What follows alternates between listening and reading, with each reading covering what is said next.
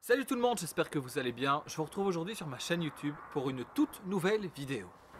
Aujourd'hui, nous allons parler de L'agression, qui est un livre du bouillonnet Pierre Bourgeois. Le livre L'agression est un livre de 80 pages qui retrace l'histoire de Bouillon quelques jours avant l'invasion allemande.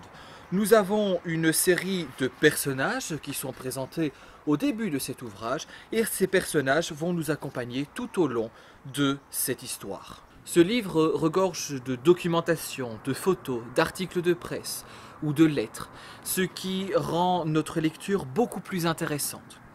Nous avons les personnages qui nous accompagnent du début à la fin et qui racontent l'invasion de Bouillon par les Allemands au début de la Seconde Guerre mondiale.